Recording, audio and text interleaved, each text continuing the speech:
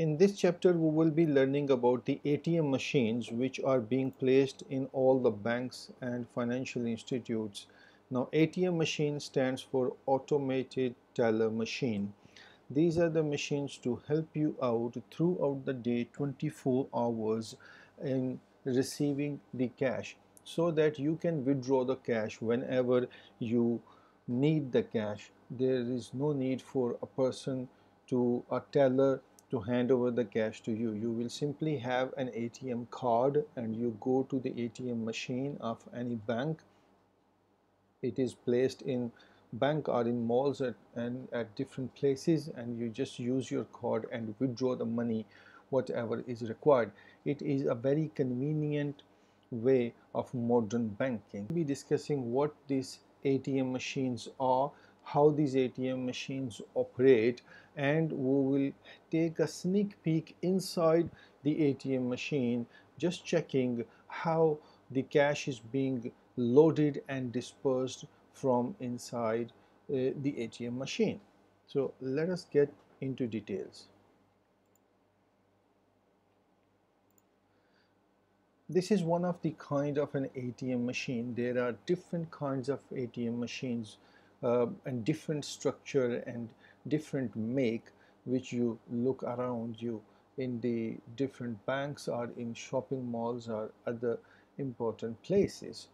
Uh, all the machines pretty much are same from inside uh, they function in the same manner and the cash is being dispersed and loaded in the same manner their safety and security is pretty much same it's just the outer design which is little different as part of the design and branding and all.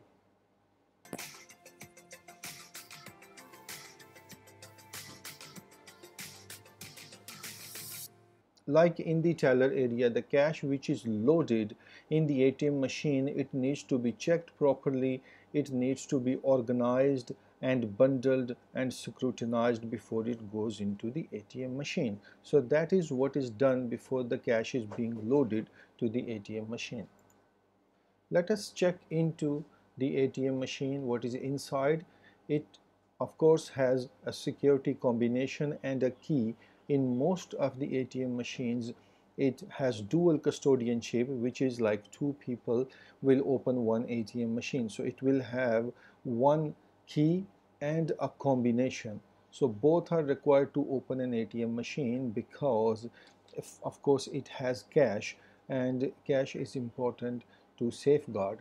That's why two custodians will come get into the play when they want to replenish an ATM machine. So when we open an ATM machine you see here at the inside this the top cassette there are uh, you see the inside of an ATM machine. There are oh, four under cassettes. There are in total five cassettes one on the top and then four beneath this cassette. This cassette on the top is a dispenser box where all those notes they get collected which are rejected by the ATM machine and thus they come into this uh, reject box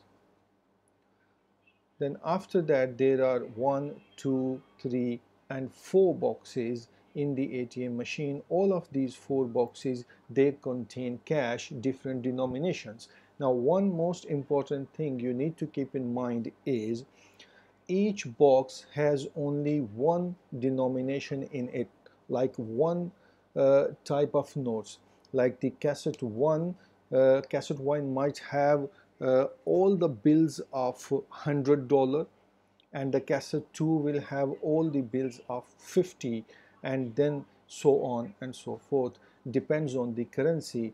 Mm, but each cassette will have one denomination one type of note properly sorted out and properly aligned kept inside one cassette this is the control panel on the top of it with which you will control and check and take a balance of all the day activities and you will see how much money was dispensed previously and then how much is left inside so that you can properly generate the reports and then after that you can properly reconcile it. This is something which needs quite a detailed lecture which I will cover in my another lecture uh, but here we will just get into the further details of the ATM inside cassettes. Now here we see this first box which has all the rejected notes and all. Uh, we will just take out this uh, first box and take out all the rejected notes which a teller will be listed or the officer will take a note on a paper and keep them separately for reconciliation later on. We take out the cassette number one. This is how the cassette is. You see the size of it and generally all the ATM machines or most of the ATM machines has this same model of cassettes. Here you will pull it up and push this bar, the push uh, bar back on the back end and then uh, hold it there with that lower button and now what you will do is you will put the notes inside this cassette which are already counted and properly aligned. You see in this manner this is how you will put the notes and you close it.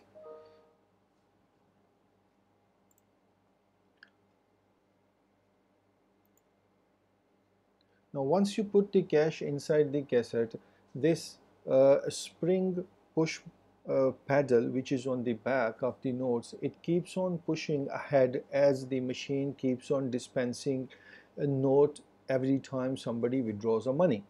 So whenever a customer is at an ATM machine and they punch in and they want to withdraw a money and suppose they want $1,000 so when they uh, enter in the keypad $1,000 for withdrawal what machine will do? It will suck the 10 notes of $100 each from this cassette and disperse out or if it is programmed in the other way then it's going to be probably 9 notes of 100 100 and then one of 50 and the other two or three of the lower denomination.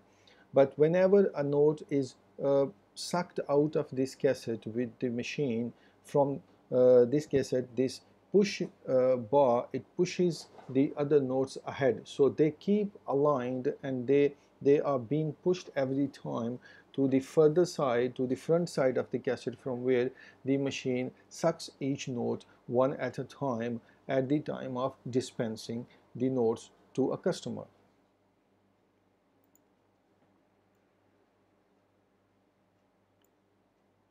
once you load the cash inside the cassette you just push the cassette inside and this is how you will keep on loading the denominations to the different cassettes at uh, at one at a time.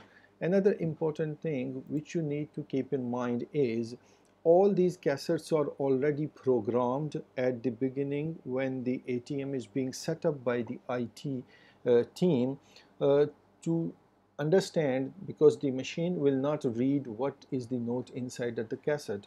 Uh, it's it has already been programmed that cassette number one will have 100 note or 100 dollar bill and cassette number two will have 50 dollar bill. So manually if you make a mistake and you put 100 dollar bills in the second cassette instead of first cassette people will start getting the wrong amount of money because the ATM machine cannot feel and see what is the denomination inside a cassette the machine understands the programming which has already been done by the IT people and the computer in the ATM machine knows the first cassette has 100 bills inside it. So if a human makes an error and they put 50 instead of 100 notes, machine will give 10 notes of 100 from the cassette 1 thinking that it is 100 but actually it is 50 it will go out. So that will create uh, a havoc